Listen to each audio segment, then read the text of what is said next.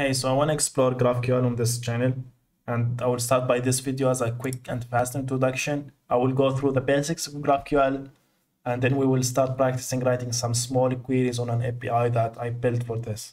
At the end, we will, at some point in the series, we will build our own API, our GraphQL API and uh, like get, get, get our hands dirty basically. So I think one good way to understand GraphQL is to compare it with the RESTful API uh, like philosophy, I would say. If you don't know RESTful API, it's fine. You still, you will, I think you will still get some value out of this. So in RESTful API, you have multiple endpoints and each endpoint correspond to a resource or multiple resources. And if you want to combine the result from multiple endpoints, you have to call them individually, then do some things to combine, like write some code that combines all of this in a correct way. Or some APIs exposes single endpoints that aggregates things. But that's something to remember. You have multiple endpoints. You know, you need to know which API, which endpoint to call, and then call it, then combine the result. That's something. Uh, also, in, in RESTful APIs, there is this thing called overfetching, which is I'm gonna request all of the users that exist in this API, and I'm only I only care about their IDs, but this API will give me everything about the users, which is it's, it's an overfetching. I, I don't need the name and the date of birth for every user. I only need the IDs. I mean, all of these problems, it's not I won't call them problems, but all of these things, all of this, all of these behaviors from the RESTful APIs are um, are something to remember when you compare to GraphQL APIs because that's that's that these are basically one of the things that GraphQL wants to solve because they might they might be harmful in some situations but it's not always. And also all of these things that i mentioned they could be fixed in the graph in the restful api context. Uh, you can make it more like dynamic. You can you can fix these things uh, in one way or another. You can use documentation tools to create some sort of a schema for people to know what kind of things they query or from which endpoint. So you can make things easier. These things are not as bad as like some people might make them sound to be. Uh, but so in GraphQL, you have a single endpoint and that's it. Or you always send every GraphQL query to that endpoint. And something I really like is the flexible queries you can write in GraphQL because for each GraphQL API, you need to define a schema and the schema is everything that is queryable in that GraphQL API. And through that schema, because you define the relations between every type, so a schema is defined by a set of types, because you define the relations between these types. So when you do that, the GraphQL engine can easily generate some kind of a documentation that tells everyone how to query this API and how to traverse these relations through a single query. So this is really something I this is something I really like because it allows a flexible way to query your API. You can traverse the resources, traverse the relations, and um, get whatever you want. It's really powerful. I will show you in a moment doing that in RESTful API is a bit harder in my opinion, and it requires some crazy query param sending, and some does not cover a lot of cases that in GraphQL it's way easier to cover. So I I like GraphQL mainly for this person, mainly for this reason. At least for now, maybe I'll change my opinion in the future. But uh, this is another thing about the schema and the scheme and the type system. Because you define it when you create your own API, you will end up with a really good documentation about what things the client should expect, which is really cool. Um, there are some solutions like this in the RESTful API, like the Swagger, and some frameworks comes with a native integration. So every time you create an endpoint, will be documented and stuff. Uh, but still, I think the GraphQL approach is way more dynamic and much more um, descriptive, in my opinion, and much much more genuine, I would say. Anyway, now, another thing you need to know in GraphQL, you, the response according to the specification should always be 200. That's a big difference from RESTful APIs. But I've seen APIs that uses GraphQL and retains different status code. But at least according to the specification, which I linked it here, it should be 200. And for the errors, you might retain an array of errors that describes what happened. But the response usually contains that always contains the data object and might contain the errors array. That's the always, this is the response. So it's consistent, which is another thing I like about GraphQL API. It's consistent. Same status code, same shape of response. That's, a, that's good. Mainly people use post requests when communicating with GraphQL APIs, but that's not our, uh, but that's not according to specifications. That's up to you. You can specify any kind of method. Now, the basic blocks of GraphQL is three, subscriptions, mutations, and queries. Subscriptions are a way to tell the server, hey, I want to subscribe to real-time events through WebSockets or server-side events. That's outside of the scope of the current series, maybe in the future. Mutations, mutations are also outside of the scope, but this is a way to tell the server, hey, I want to modify this resource. Here's the new data to override it with. Uh, and the queries, this is the focus now. This is the client telling the GraphQL server, I want this response with this with this shape. And this is the, the focus. And every GraphQL, and these three types, these three building blocks, which are also called types, these are the starting point for each GraphQL query. And the, I'm going to focus on type 1, which is written like this. So type a query, and you define under it the fields that the user can query from the root GraphQL query. I know this sounds strange, but I will give you some examples in a moment. So you go on your GraphQL server, you define a query, and under it you define some types.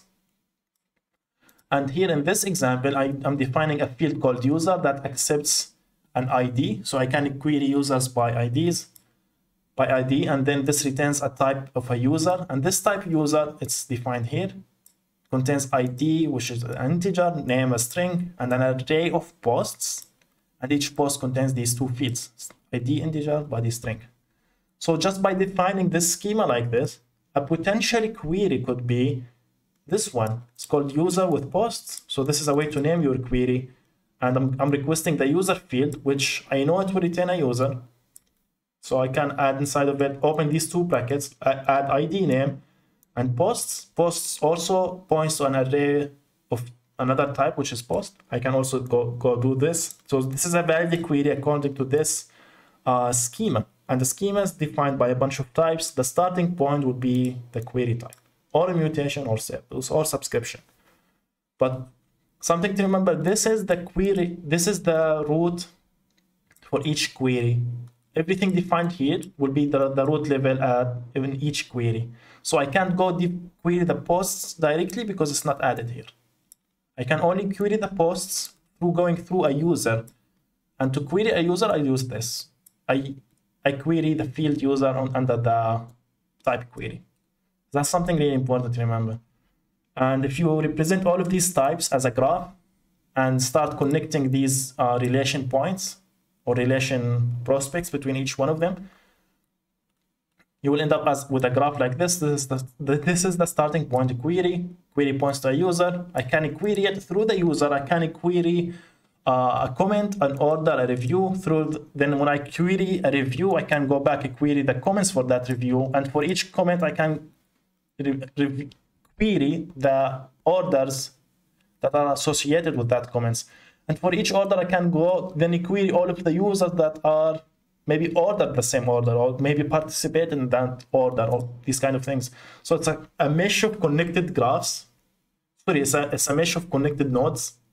And through each node, you can query other kind of nodes. So this is what I meant by flexible queries. You can you allow your client to specify what they want and traverse the whole resources that are connected with each other, and then you give them the response. It's really cool. And the thing that gets the data and puts them in the corresponding fields called resolvers. So in this type of query, we expose this field called user. GraphQL will expect that we define a user resolver, and this user resolver should return a user object. And then for each field, the user requested, it, it, will be extracted from the returned value from that resolver and then attached to the corresponding field. And if there is a field that corresponds with a, a resolver with the same name, it, that resolver will be called and the result will be attached in that corresponding field. So that's basically the idea. And there are so many things here to discuss and talk about, but just remember that each resolver can invoke another resolvers and these resolvers can invoke another resolvers and so on. And this is called the resolver chains. And each resolver gets the result from the previous resolver. So in our example, this will amount to two resolvers. We have the user resolver and we have the post resolver. This is maybe too much for the first video, but these are things that you need to keep in mind when when talking about GraphQL. Now let's write small queries, which I will show you everything, and I will show you how dynamic this is. We will have a, I will show you now the types. So these are our types. We have a type query. I will say this is number. I will go one second, ignore this. Basically, I have this type. I'm gonna copy it, put it here, and I'm gonna tell VS Code this is a GraphQL. So we have 42 lines of types, and this is really simple. So I have a type company contains the three strings, geo, two strings, latitude and longitude. Address contains these four strings and also points to a property, to a field from this type. I have a user, which contains all of these things. Most of these things I like integer and the strings. These are called the scalar types. These are primitive types. Company po points, the company field points to a company uh, type, which is contains these three things. Address points to this. A next user, it's pointing to the user type itself. So you have you can have these cycle cyclic references to types, which is something also interesting. And the posts field points to an array of posts, which is that's the post it contains four fields uh, that are scalar and also a user field that points to the user type itself. And this is the query, this is the root query we can write. We exposed three fields. Hello, which returns an array of strings, a number that returns uh, an integer, and a user that accepts an ID that returns a user. Okay, this might sound like gibberish. Let's just go practice querying that.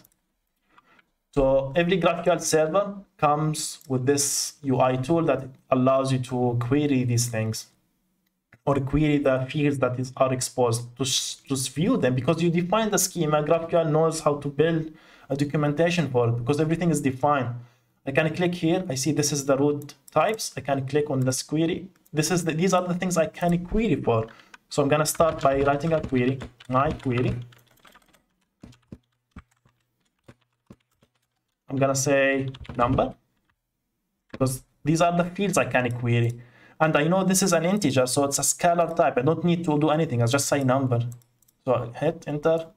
I get my response. It's 200 and I get the data inside of it. There's this number. I can also say hello, which is defined here. This will return an array of strings. I get that array of strings. Now we have this user field.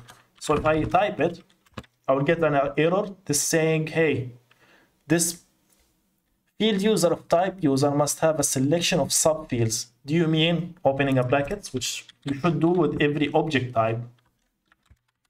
So this is correct, but now it will complain that I'm not selecting anything. So let's go select the ID. But now it will also complain because it needs to accept an ID.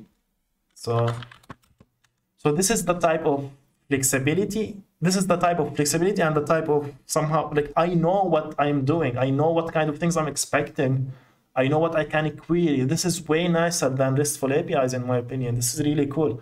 So I can just now hit Control Enter or press this and I get that. I can also query anything. If I if you want to know the things you, you can query from here, you just can you can do like press enter, then command space, you get a list of all of the things. Or you can click on the user type and get all of the things you can query. So let's go and query the address or let's get the name Let's get the address. And I know that I need to open a curly brackets because the address is another type. And I can get the streets. I can get geo, which is also another type. This is really good. And also another thing, you can have aliases. So I can call this uh, my field and query it and also query it again. So this is really nice. Like I just, I hope you see, and this works even here. Uh, random. I changed this to random so it's really cool. Now another thing I have also this post field. Let's go query it. Posts because it's an array of objects I need to also uh, open this. And when I say array of objects this also means array of types. So types could also point this is an object type uh, which is not a primitive, not a scalar. And inside of this, I can have the user ID, I have the ID, I have the title of the post. So now I get all of the all of the posts for that user of ID one. Now here is the thing about traversing all of your resources. If you go to the post type, you can see it points to a user. So guess what you can do? I think you maybe you know now.